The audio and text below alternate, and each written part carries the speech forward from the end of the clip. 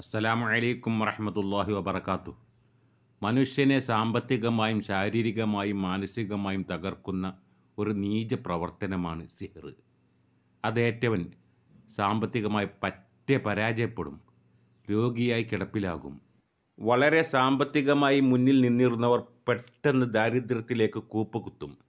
നല്ല സ്നേഹത്തിലും സന്തോഷത്തിലും ജീവിച്ചിരുന്ന ഒരു കുടുംബം. സ്നേഹമില്ലായ്മ പരസ്പരം കണ്ടാൽ ദേഷ്യം വിരോധം തർക്കങ്ങൾ അടിപിടി എല്ലാം തുടങ്ങും. ചിലർക്ക് തീരെ ജോലി ചെയ്യാൻ കഴിയില്ല ജോലി ലഭിക്കാതെ വരിക. ഇങ്ങനെയെല്ലാം ഒരുപാട് പ്രശ്നങ്ങൾ സിഹർ കൊണ്ട് സംഭവിക്കും. മാത്രമല്ല ശാരീരികമായ അസ്വസ്ഥതകൾ എന്ന് നോക്കിയാലും അസുഖങ്ങൾ. പ്രതിവിധികൾ ഒരുപാട് ചെയ്തിട്ടുണ്ടാകും. പക്ഷെ താൽക്കാലികമായ ആശ്വാസങ്ങളുണ്ടാകും വീണ്ടും വരും. ആദ്യം ചെയ്തവൻ വീണ്ടും വീണ്ടും ഇവന് സിഹർ ചെയ്തുകൊണ്ടേയിരിക്കുന്നു. അങ്ങനെ വരുമ്പോൾ ഇതൊന്ന് മടക്കി അയച്ചാലേ അവൻ ഒതുങ്ങൂ.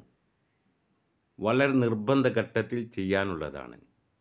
മുമ്പൊരു വീഡിയോ ഉണ്ടായിരുന്നു അതിൽ ഞാൻ പറഞ്ഞിരുന്നത് അത് ഇസ്ത്യാനത്താണ്. അതായത് ചില സൂറത്തുകൾ ചില ആയത്തുകൾ ഉപയോഗിച്ചുകൊണ്ട് അള്ളാഹുവിനോട് ദ്വാഴ ചെയ്യുക.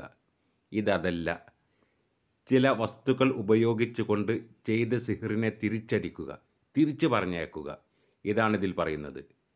അതിന് വേണ്ടത് കൊടിത്തുവ ഇല നൂറ്റി ഒന്നെണ്ണം കാരമുള്ള് നൂറ്റി ഒന്ന് കാന്താരി മുളക് നൂറ്റി ഒന്ന് കടുക് അല്പം കല്ലുപ്പ് തിരി നൂറ്റി ഒന്ന് മൺകുടം ഒന്ന്. ഇവയാണ് ആവശ്യമുള്ള സാധനങ്ങൾ ഇത് ചെയ്യുമ്പോൾ പ്രത്യേകമായി ശ്രദ്ധിക്കാനുള്ളത് നാം ഒരിക്കലും എനിക്ക് സിഹിർ ചെയ്തിട്ടുള്ളത് ഇന്നാളാണ് എന്ന് ഒരിക്കലും മനസ്സിൽ വന്നു പോകരുത്. അങ്ങനെ സംശയമേ മനസ്സിലുണ്ടാക്കാൻ പാടില്ല. അങ്ങനെ വന്നാൽ ആ വ്യക്തിക്കെതിരിൽ സിഹിർ ചെയ്യലാകും. അതാവരുത്. ഇത് നമുക്ക് ആരാണോ അയച്ചത് അയാളിലേക്ക് ആരുമാകാം? എന്റെ ശരീരത്തിൽ നിന്ന് ഒഴിഞ്ഞ് ആരാണോ എനിക്ക് തന്നത് അവന് കൊടുക്കുക. ഇത് ചെയ്താൽ സാധാരണ കാണൽ ആരാണോ ചെയ്തത് അയാൾക്ക് ശരീരം ചൊറിയാൻ തുടങ്ങും. നിൽക്കാത്ത ചൊറി മാന്തി മാന്തി ശരീരം ചോര ഒലിക്കാൻ തുടങ്ങും. എങ്ങനെ നോക്കിയാലും ആ ചൊറി മാറുകയില്ല.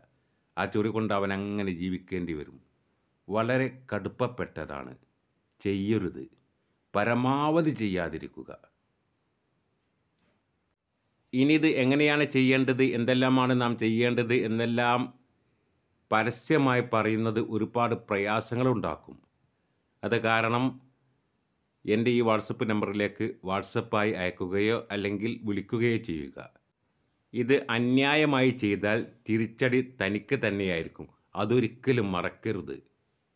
അള്ളാഹുവിനെ ഭയപ്പെടുക. അള്ളാഹുവിനെ സൂക്ഷിച്ചുകൊണ്ട് മാത്രമേ ഇതുപോലുള്ള കാര്യങ്ങൾ ചെയ്യാവൂ.